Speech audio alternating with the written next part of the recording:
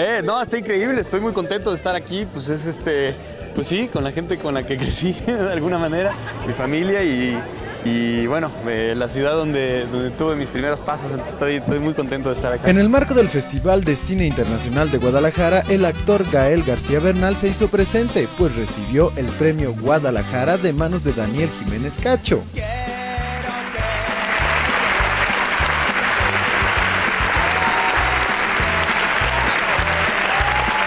Y ya muy emocionado, el joven histrión dedicó el premio a su abuelita, a Doña Maruca. Este, este premio tiene un significado muy especial.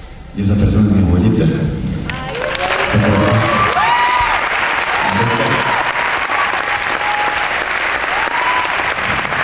Y al preguntarle sobre su reciente paternidad de Lázaro junto con la actriz argentina Dolores Fonsi, el actor simplemente sonrió. No, no anda por acá. Oye, lo más Vientos. complicado de ser padre, Gael, ¿podrías compartirnos un poquito? No, pregúntale a todos los papás, esa, eh, todos los papás tienen la misma respuesta. Informó desde Guadalajara, Jalisco, Eliud Arce. está subiendo. Giro, papalote, giro. Chaparrita,